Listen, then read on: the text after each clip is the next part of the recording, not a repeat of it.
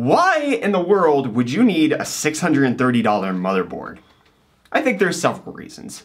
The first, obviously, being bragging rights. Ain't none of your friends strutting something like this.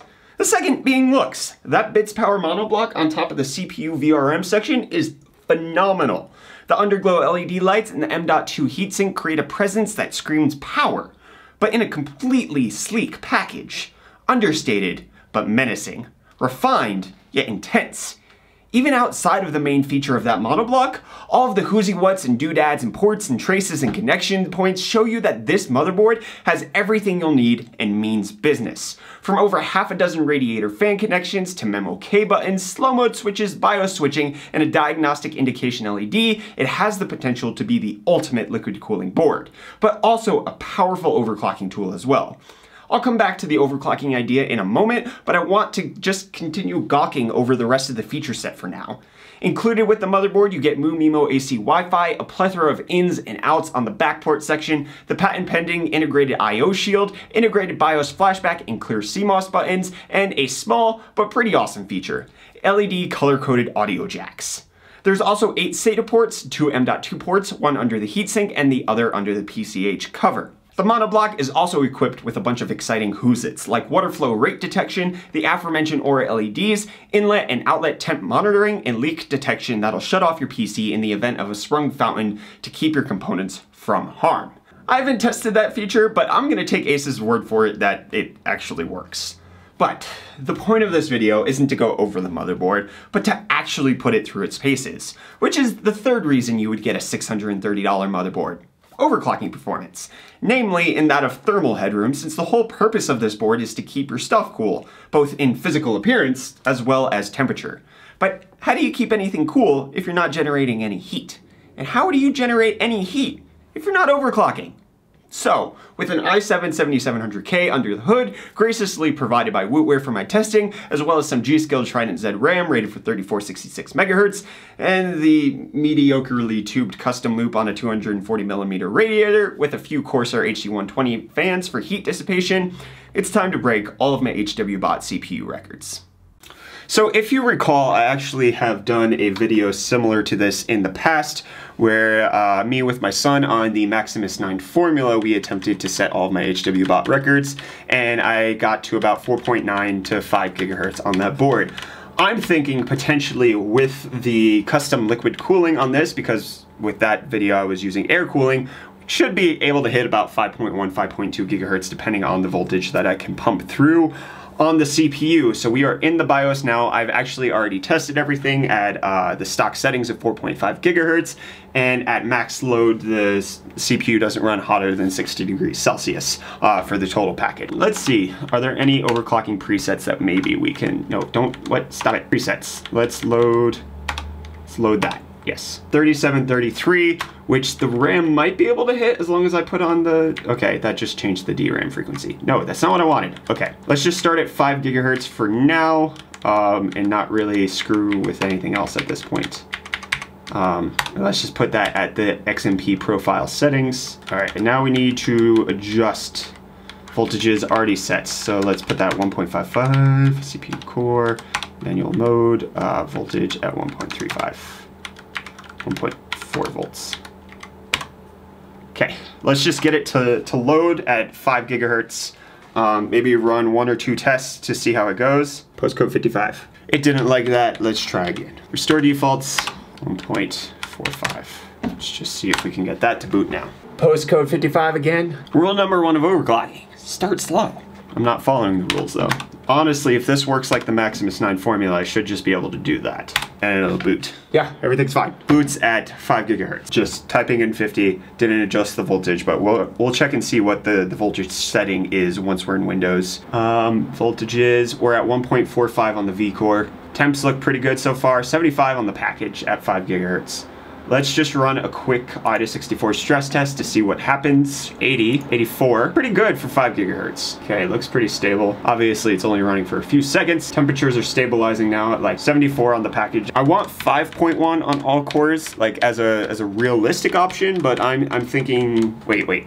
No, I want 5.2. I'm thinking 5.1 is going to be realistic, but I want 5.2. Might have needed a bigger radiator though. Wonder, wonder, will it just automatically, is Asus's BIOS software good enough that it's gonna just boot it? Looks like we're in. Quick little stress. Oh, nope, doesn't like. I think I need to custom set the voltages. 1.475, it's pretty high, but should be fine. That should help, I would think.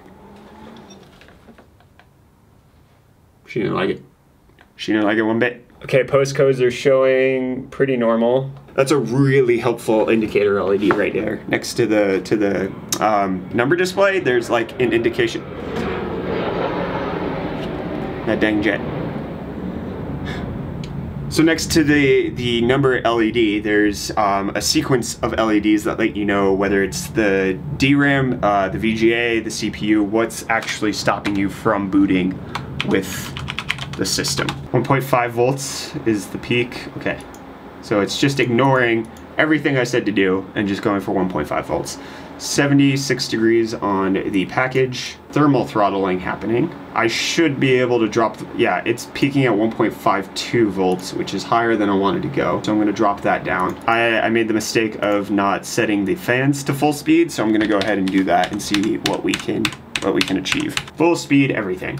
I have them all on the same fan header because uh, Asus includes a fan splitter with the Maximus 9 Extreme, so you can just hook them all up to one. I, I want to push it up to 5.2 right now, but I'm gonna do a stress test and see if the temperature is stabilized before I... The stupid task of going up to 5.2 gigahertz. Now, keep in mind, this is already um, groundbreaking territory for me as far as uh, a 7700K on my air cooling, I only ever went up to 5 gigahertz. I never hit 5.1 where I was able to even load into Windows. It would always crash right there. I wouldn't actually even be able to get through into the to the homepage to even do a stress test. So this the Maximus 9 Extreme is already beating everything I did on the Maximus 9 Formula, obviously due to the cooling, not necessarily due to the motherboard setup. But of course the cooling is the motherboard setup, so it goes hand in hand there.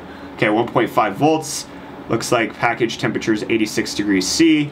Um, let's go ahead and do a stress test. Already thermal throttling, yep. So it's stable if just a little too hot. So I will drop the V-core voltage down by 0.025. Yeah, so it's it's even going, I, I set it at 1.45, it's going up to 1.48. Um, I wonder if it's actually registering that. Yeah, it's registering the same in CPU Z. Don't thermal throttle on me, and don't crash. Those are my two requirements of UPC. Now I just need to adjust some RAM timings and see if we can tighten that up a bit before we actually start the official overclocking session. I know it's been a little bit, but we're just, you got, you got to take it slow sometimes, you know? You just can't, you just can't go flying in and adjusting all these settings and making everything run the way that you want it to run and just can't do it. Let's bump that up to 18. Oh wait, it worked? Worked. Went through! Ha! 18 instead of 17. Now, what I'm gonna do is I'm gonna go ahead and, uh, I was using the wrong mouse, and let's just pull up the first benchmark. Why is Skype taking up 66.8%? What? Let's do a quick round to Cinebench R15. How about that? And bam. As long as it doesn't crash, I'm happy. As long as I get a score, everything's fine. But you know what? I'm actually already happy because 5.1 gigahertz is beyond what I was able to achieve before. So kudos Maximus 9 Extreme. You have my vote for the best motherboard I've ever used. Because I haven't been able to get my hand on a Maximus 9 Apex. And I'm not really sure that I'd be able to utilize it to its fullest potential. 1088. 1078. So I beat it by 10 points. Sweet. Wife, I did it. Are you proud of me? Yay. She loves me. 1093. There we go. See?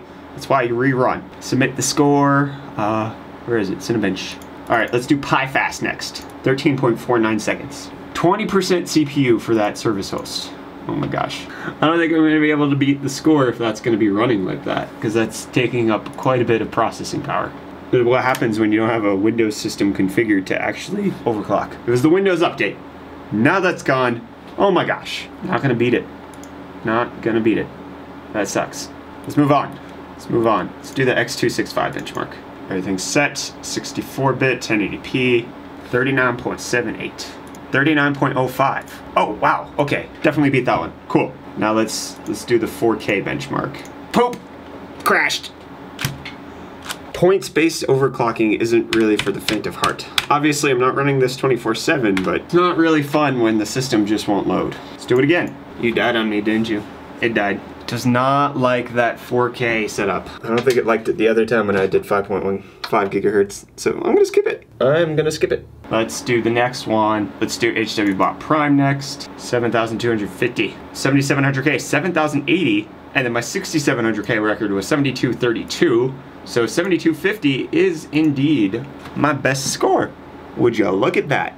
Okay, Super Pi mod, 1 million and then 32 million. So I'm going to do 1 million, 7.799 seconds. 631, ah! It's faster, just not fast enough. Obviously, I'm not adjusting anything. I'm just trying to see if it'll go faster. 645, nope, okay. I'm gonna have to concede this one. Dang it. 631, poop, wPrime. Let's do that one. And run. 4.268. 4.345, yes! Amazing. That's as good as it's gonna get, but that's actually still better than everything else I did. Alright, you know what? I think, I think I'm gonna call it there. I have done everything I have installed. Um, so you know what? I'm pretty, pretty happy with how things went. There we go. Finally broke 5.5 gigahertz and actually got some benchmarks done. Cool. She's done. Everything's done.